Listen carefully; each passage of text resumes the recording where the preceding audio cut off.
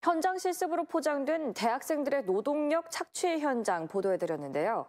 학생들이 가장 많이 현장 실습을 나가는 콜센터와 제조업 공장 등 실습 현장을 직접 찾아가 학생들과 업주들의 이야기를 들어봤습니다. 정의진 기자가 취재했습니다. 한 대기업 콜센터입니다. 지난해 여름 광주 한 4년제 대학생 54명이 이곳에서 현장 실습을 했습니다. 해당 대학의 현장 실습생 3명 중 1명 꼴입니다.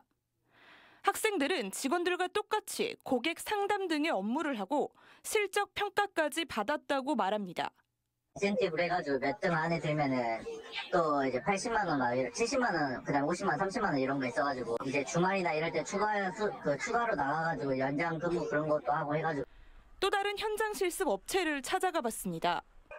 제대로 된 간판조차 없는 창고 같은 곳에서 학생들은 프레임 절단과 용접, 자재 운반 등 위험한 노동을 전담했습니다.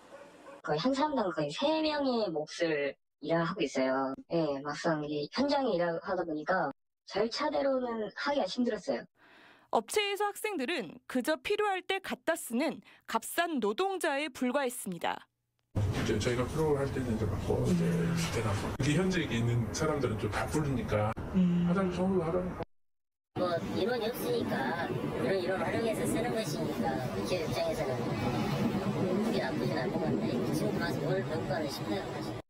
교육부가 현장 실습 업체 자격을 제한하고 있지만 규정 자체가 워낙 광범위해 유명 무실합니다. 불법적인 일을 하지 않는 이상 어느 업체나 대학생들을 현장 실습생으로 불러 활용할 수 있는 상황입니다.